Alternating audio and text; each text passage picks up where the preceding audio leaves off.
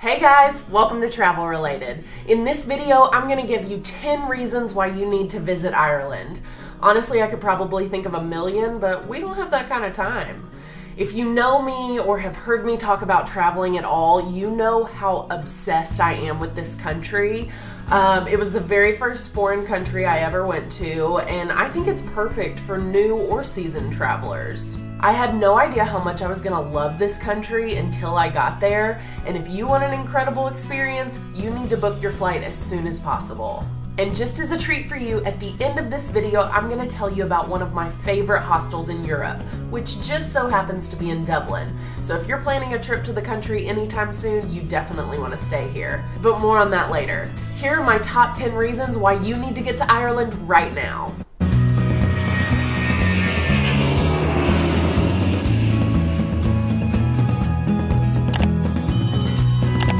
Number one, it's not a long plane ride from America. If you are someone that does not like being in a plane for a long period of time, Ireland's the perfect place to go.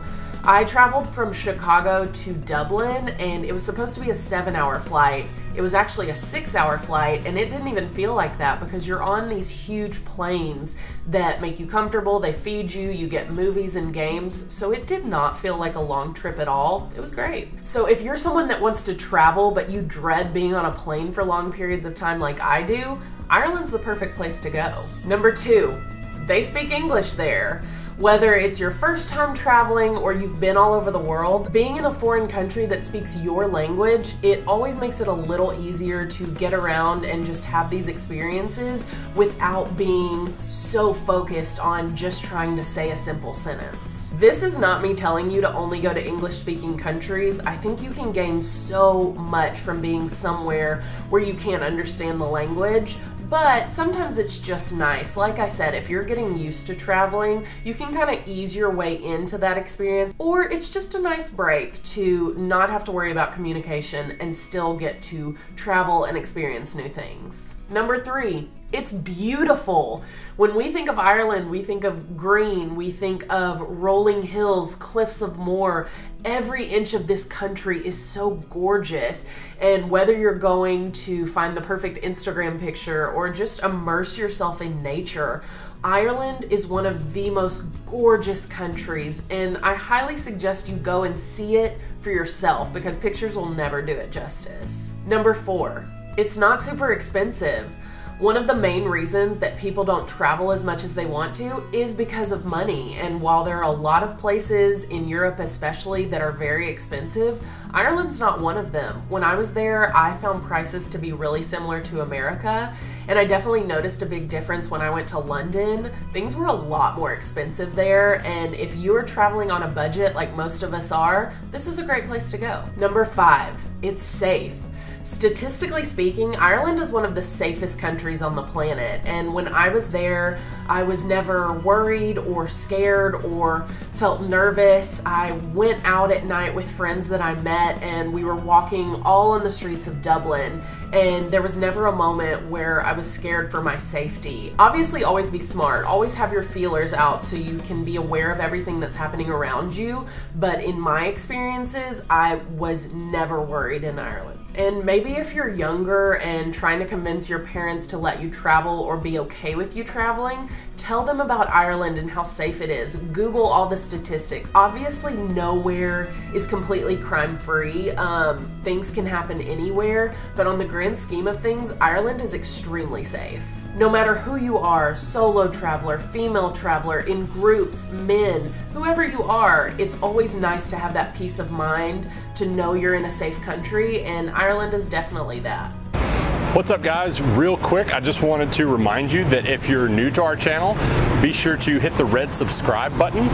And also, if you're enjoying this video, uh, feel free to give us a like. It really helps the YouTube algorithm by telling it what kind of videos you like so it knows what to recommend to you. And it also lets YouTube know which of our videos people are enjoying. So yeah, if you like this video, give it one of these. Now, let's get back to the video. Number six, the people are incredibly friendly. The Irish are some of my favorite people in the world now because I experienced such good people, such genuine people when I was there. And I remember going to a pub one night with a couple of travelers that I had met, and we sat down next to this Irish couple and had the best night. We were there for hours. They were buying us rounds of drinks and just talking about their lives and wanting to know about our lives. And they were just genuinely so nice and so good. And it was such a fun experience because I really felt engulfed in the Irish culture. You know, I was in a pub where people are obviously drinking, there's loud music, and I have all of these Irish people around me that are genuinely happy that I'm there and happy to talk to me and welcome me. There are different places you can go around the world where maybe you don't feel as welcome or people are kind of standoffish. That is not in Ireland. Number seven, if you like road trips, Ireland is the country for you. I'll be honest, I don't like road trips. I hate being in the car, but the next time I get to Ireland, I'm renting a car and I'm covering every inch of this country. Because this is what I've been told that if you really want to experience Ireland, you get a car and you drive around and it's magical and you see parts that you might not see on a train and you definitely see parts that you wouldn't see on a plane. So everyone says that getting a car and just driving is amazing. So that is my plan as soon as I get back. So if you like being in the car or even if you don't, this is the perfect place to road trip. Number eight, if you love Game of Thrones, you're gonna find a lot of filming locations in Ireland. Northern Ireland to be exact. I believe that is where the House of Stark is. If I'm wrong, correct me in the comments. Obviously, Game of Thrones is a phenomenon and it has taken over the world. It's also filmed all over the world, but a huge hub for their filming is in Northern Ireland. So if you want to go somewhere where you can find a lot of filming locations, this is the place to be. I'm gonna put a link in the description of an article that shows you where 11 different filming locations for Game of Thrones is in Ireland. You're welcome. Number nine, it's a small country. I think a lot of people get really overwhelmed when trying to plan travels, and there are all these different places they want to go and see, and they don't have enough time. And with Ireland, you can really hit most of the major spots in just a matter of days. But if you have the time and want to go spend a couple of weeks there, you can really cover a lot of the country and really see what it's all about and not have to freak out about not having enough time to see it. I want to go and move there for five years, but if you only have a few days or a couple of weeks, you'll be able to cover so much ground. Number 10, you can explore your roots. Most of us have a large amount of Irish in our ancestry. Obviously, not everyone, but I know for me, about 95% of my heritage comes from the UK. So I've obviously got deep roots in Ireland, and now with things like Ancestry DNA and just the internet, we're able to explore so much about who we are and be in the same country as your ancestors. And for a huge majority of us, part of that is going to include Ireland. So go explore your roots, find out more of who you are and where you came from.